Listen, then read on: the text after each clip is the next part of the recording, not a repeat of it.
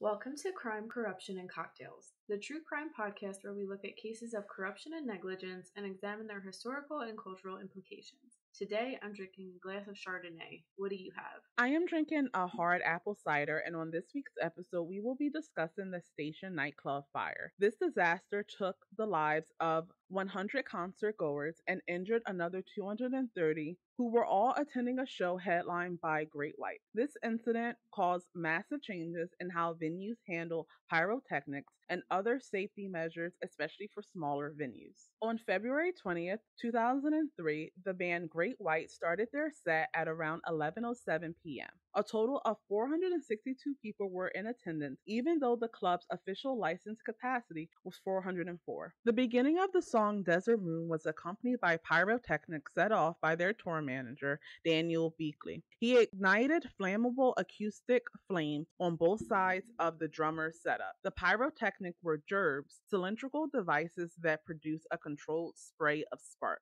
The flacking gerbs were the primary cause of the fire. The flames were initially thought to be a part of the act. The music video accompanying the band's song showed flames around the musician. As the fire reached the ceiling and smoke began to come down, only then did people realize that it was uncontrolled. 20 seconds after the pyrotechnics ended, the band stopped playing and lead guitarist Jack Russell calmly said into the microphone, quote, wow, that's not good.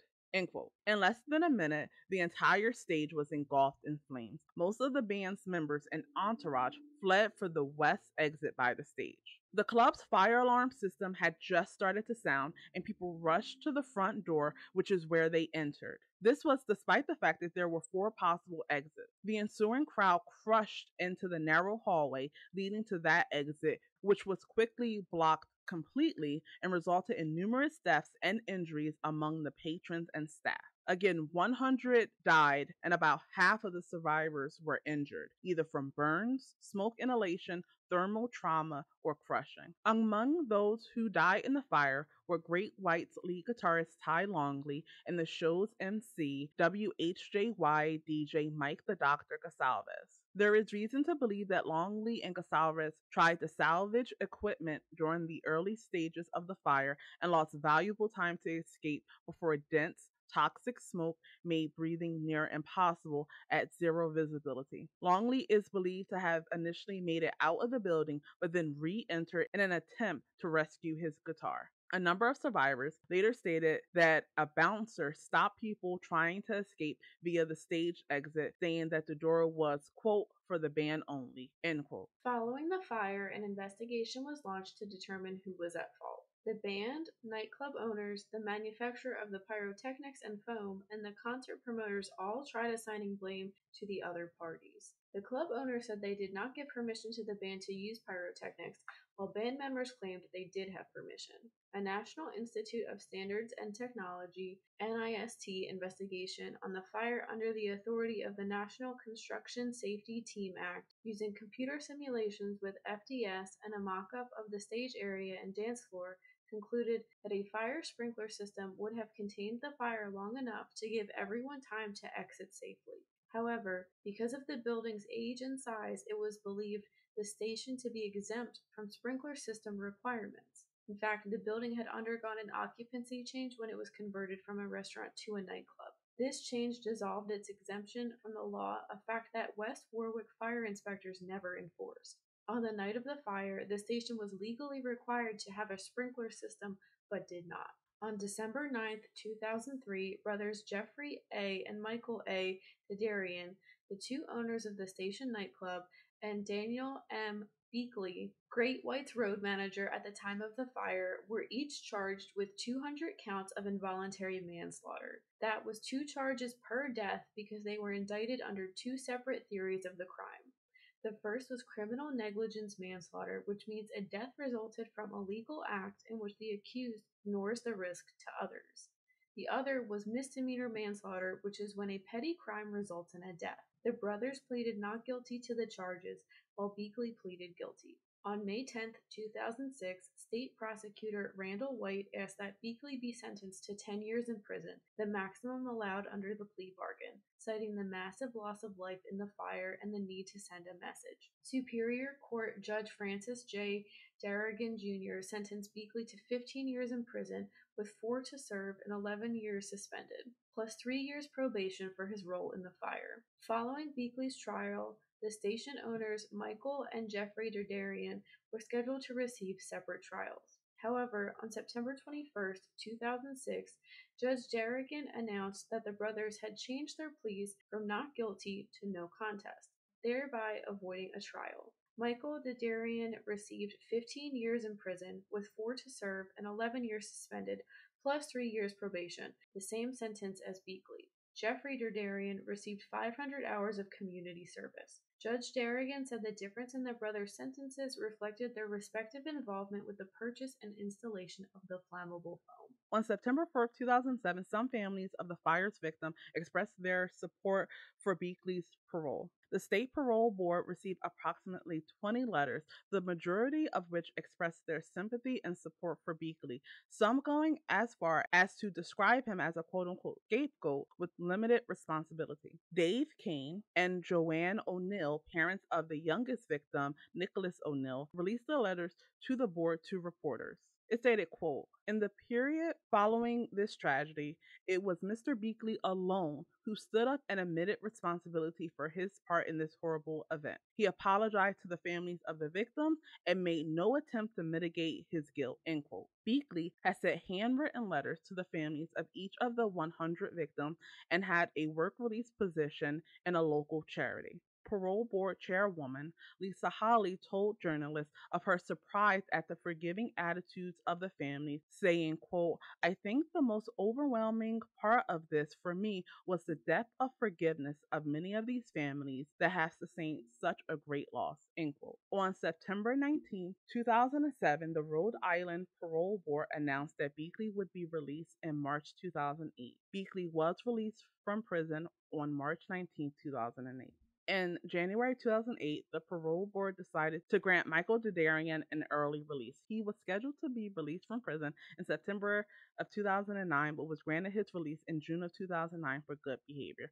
In addition to the criminal case, the Derderians were also fined $1.07 million for failing to carry workers' compensation insurance for their employees, four of whom died in the blaze. As of September 2008, over $115 million has been paid out or offered to the families of victims by various parties.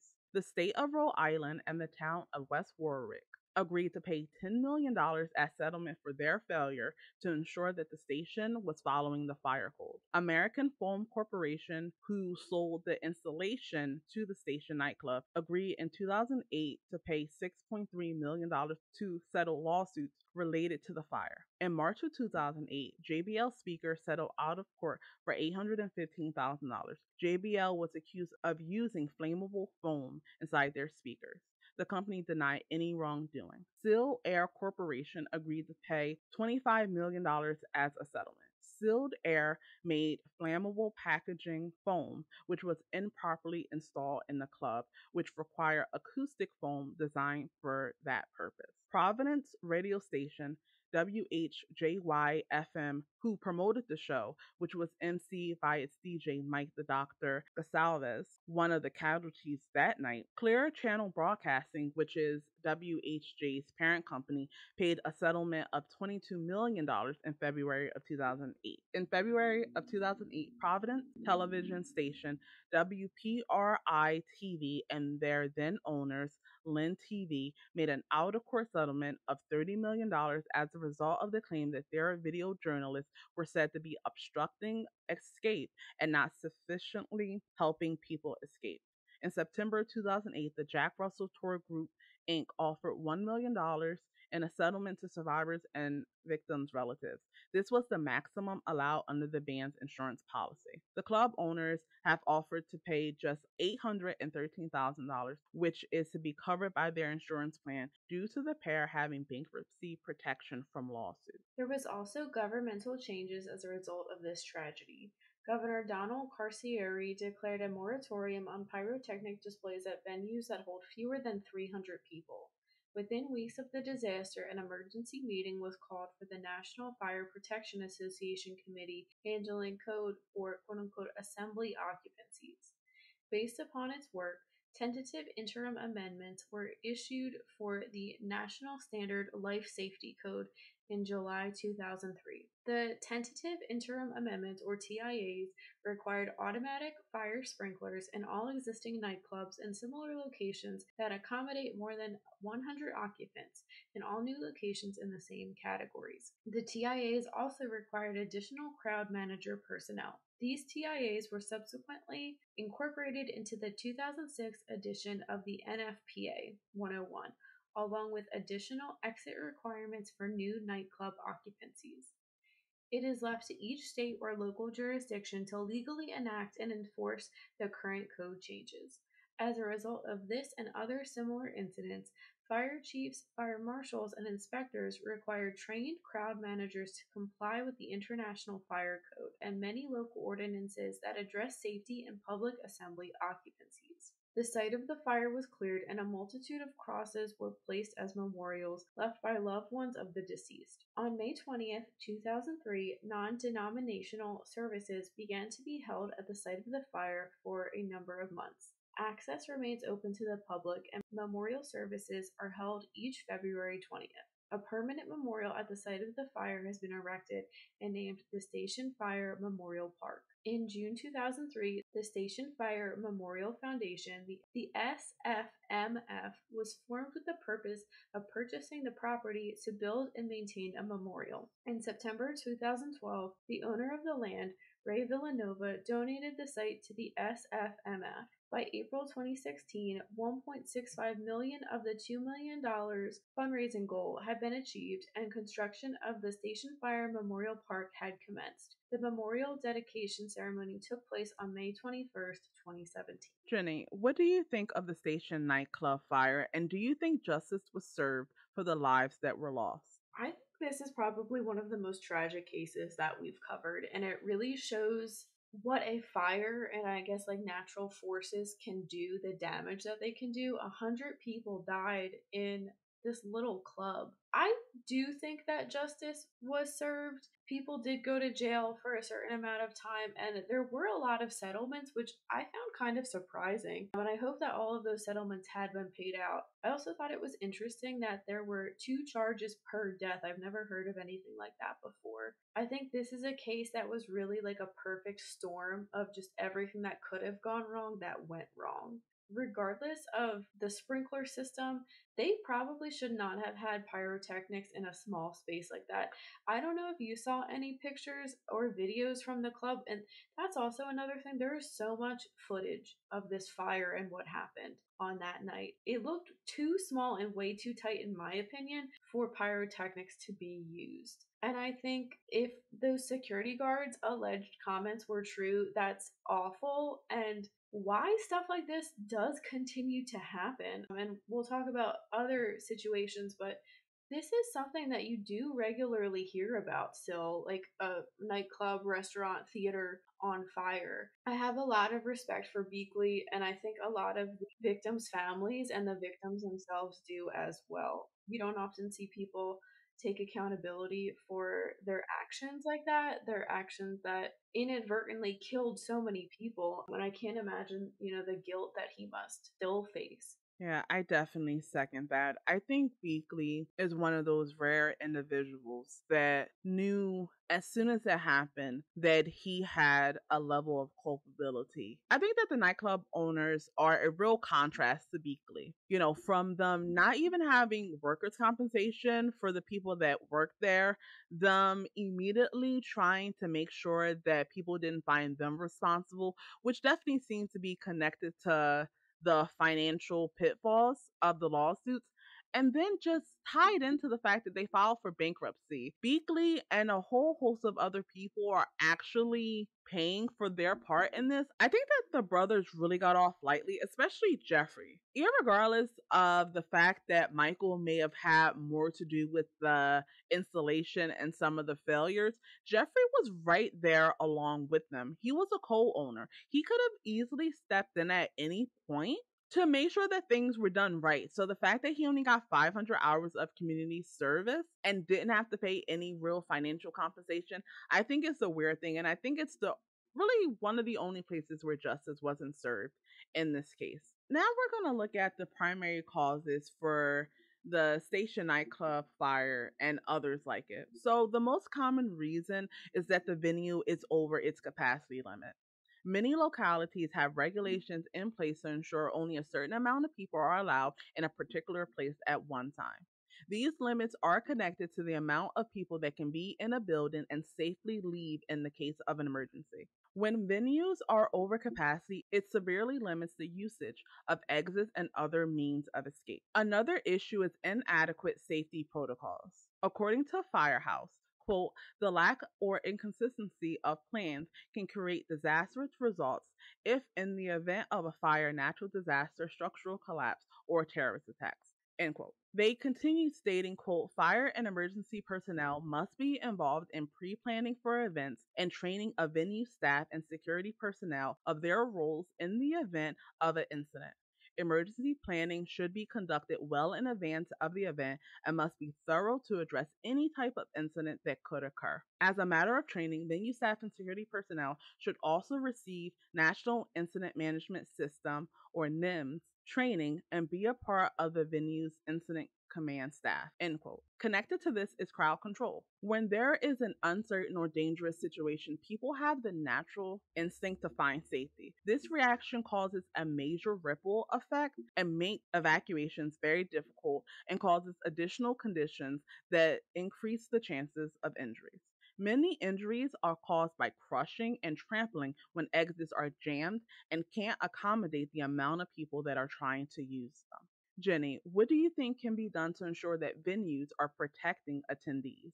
I think part of it is regular inspections with trusted people that will take things seriously. So that would just mean like making th- making sure things are up to fire code, maybe providing some more funding for fire departments or whoever is in charge of that so they are able to hire more bodies, do a more thorough job. I think that would be really helpful. And if things aren't met, there needs to be repercussions that make people again take this seriously.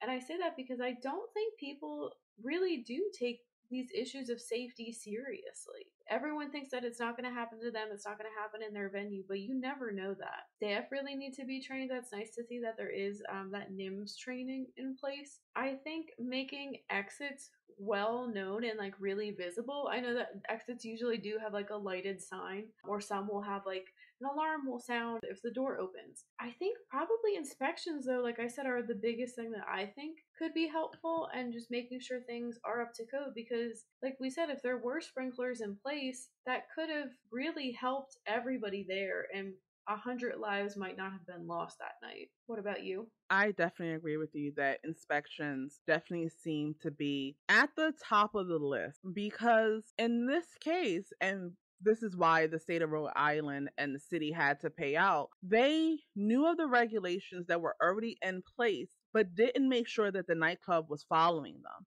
And your whole job as a regulatory agency is to make sure that things are being followed.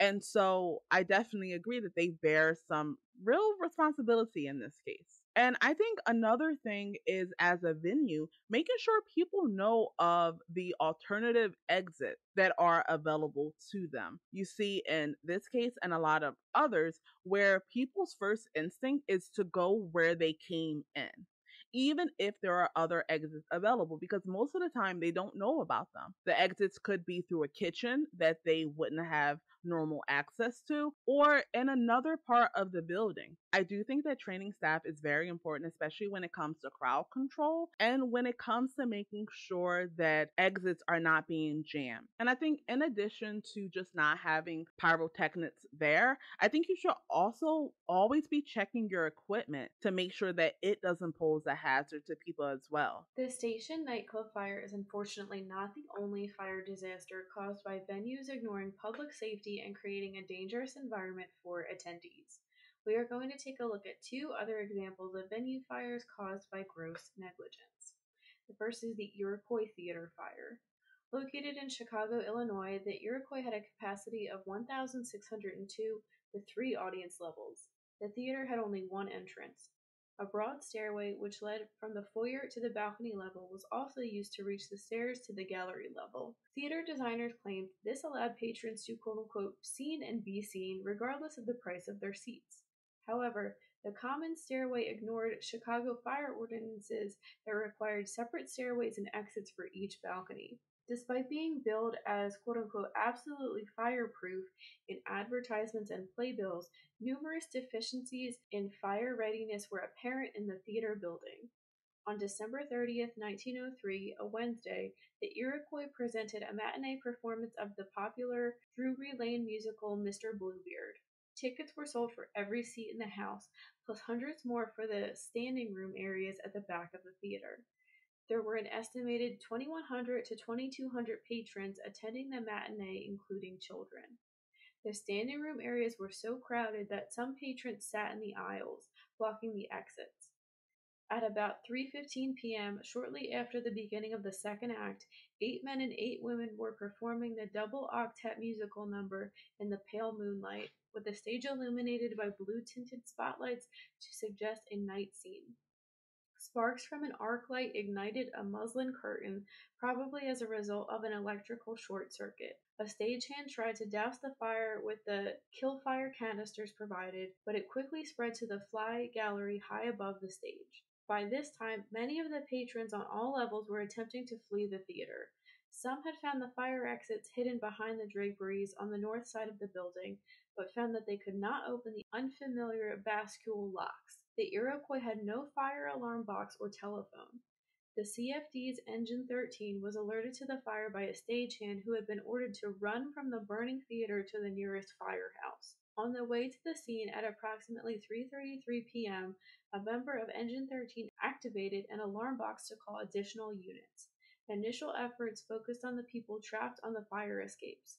The alley to the north of the theater, known as Couch Place, was icy, narrow, and full of smoke. Aerial ladders could not be used in the alley, and black nets, concealed by smoke, proved useless. It is estimated that 575 people were killed on the day of the fire. At least 30 more died of injuries over the following weeks. The other case is that of the Beverly Hills Supper Fire. The Beverly Hills was a major attraction in Southgate, Kentucky. The site had been a popular night spot and illegal gambling house as early as 1926, and actor Dean Martin had been a blackjack dealer there. Though the building's frame were classified as non combustible, the Beverly Hills Supper Club made substantial use of wooden building materials, including floors for two story portions of the complex and framing on interior hallways. It was decorated throughout with highly flammable carpeting and wood wall paneling. Event rooms also used wooden tables and support, as well as tablecloths, curtains, and a variety of other small combustible materials. On Saturday, May 28, 1977, the Beverly Hills Supper Club was operating beyond capacity, largely due to the popularity of that evening's Cabaret Room show, featuring popular actor John Davidson. Later estimates placed the total number of people in the Beverly Hills Supper Club on May 28 at approximately 3,000, substantially more than the 1,500 people that the fire code allowed at that time for a building with the number of exits the club had. Around 9:10 p.m., the power failed, panic ensued, and even those who had been calmly moving towards exits in the cabaret room began to push and shove each other. The situation was made even more desperate because of the three exits in the room. Two were soon blocked by the fire, leaving the crowd to funnel through a single exit. Employees outside the exits attempted to pull guests to safety, but the crush of bodies as those pushed upon those in the front became so silent that no amount of strength could free most of them. Many of those who escaped the crush, blocking the northeast fire exit, became lost trying to find other exits. The building's confusing designs often led to a set of doors opening into a bar area that funneled frantic guests into a dead end. Firefighters, alerted that the majority of the building's occupants were in the cabaret room, focused their efforts there, but even the combined efforts of every fire department in the country were simply too little too late. Temperatures in the cabaret room soared into the thousands of degrees, and even firefighters, weary and dehydrated, were soon unable to safely attempt any further rescues. At 11:30 p.m., Fire Command, suspecting that the building's roof would soon collapse, ordered all firefighters to evacuate the building. At approximately midnight, the roof did indeed implode into what remained of the building. The total death from the fire was eventually determined to be 165 people. That wraps up this week's case. Thank you for listening. Let us know in the comments what you think about the station nightclub fire. You can read more about this case and how to support us in the links below. We will be back next week with a brand new episode focused on the attack on Nancy Kerrigan and Tonya Harding's involvement. As always, stay safe.